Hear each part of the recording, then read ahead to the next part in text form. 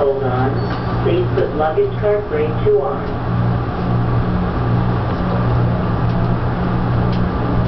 Next stop is International Terminal G. All non-stop international flights, AirTran Airways, and Spirit Air.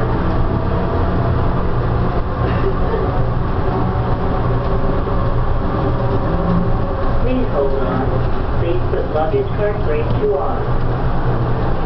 Approaching International Terminal G.